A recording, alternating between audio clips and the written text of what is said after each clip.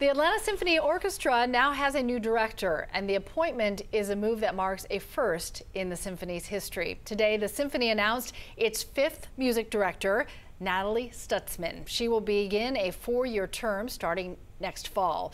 The New York Times reports that right now she is the only woman in the country leading one of the 25 largest orchestras. Stutzmann will make her first appearance as music director designate tonight and tomorrow night. She replaces Robert Spano, who has been music director of the ASO since 2001.